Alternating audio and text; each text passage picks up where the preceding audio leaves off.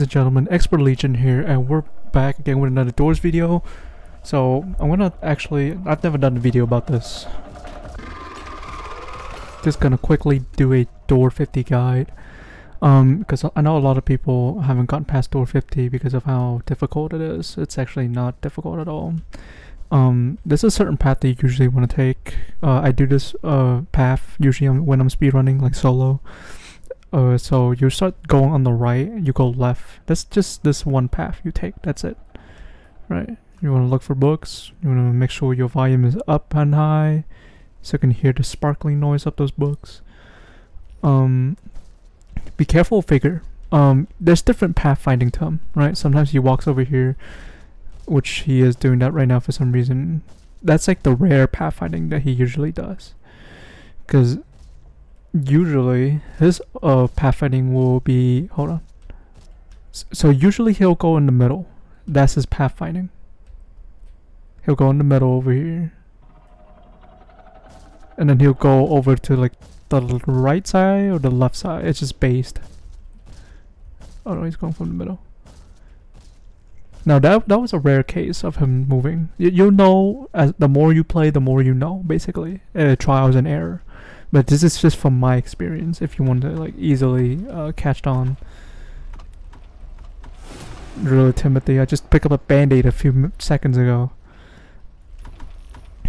Yeah, so that's basically it. He'll go upstairs usually. He'll be around this area. Once he's upstairs, you can actually walk if you want. If he's behind bookshelf like that, he can't really see you. You can just run for it.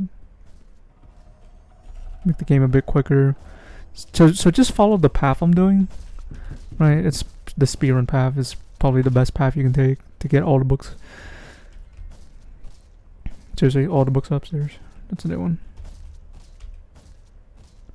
Yeah, so when he's upstairs like that, you can just run. You can do whatever. He can't get you. But once he's downstairs or in the stair section, I don't recommend you doing anything. As you can see, pretty easy. He doesn't do much. Doesn't attack you when you're walking. But once he's going down the stairs, do make sure you're crouch.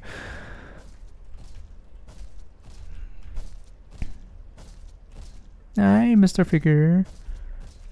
Right, so also, uh, one of the things I've noticed is when you pick up the first book, that's usually the first code on the notes. So as you can see here, there's there's an O. There's already an O. It's guaranteed to be like that. Oh jeez. It's guaranteed the first book that you pick up will be the first go code that goes in the lock. That's very simple. And the last book that you pick up is also the last code on the the last book, sorry. The last book that you pick up will be the last code. First book, first code. Last book, last code. Uh, pretty simple to remember. Remember. All the middle ones are all over the place. There's no really pattern into it. You can't really tell the middle one, but you can 100% sure tell. So here's the last one. Five. I think it was a triangle. There you go. Triangle. Pretty simple. Like I said, last code is first first code is first first book is first code last book last code pretty simple remember uh, figures pattern is also pretty simple so half the times you don't even need to go into the closets to stay alive as you see you only use the closet when it's a really emergency thing right if you have teammates and they're stuck in the closet you can use that time to make a run for it you don't have to stay crouch uh yeah, so that's pretty simple. If you guys have any questions about Door 50, please put them in the comments. Um, I'll answer them. I know it's pretty confusing when I'm explaining it, but I'll probably do best at explaining it on text. So just hit, uh, put your questions in the comments and I'll try to answer them. Uh, please, if you enjoyed my video, please hit that like button. If you're new around here, please hit that subscribe button as well. I really appreciate appreciate you guys' support. And as always, everyone, have a nice day. Bye.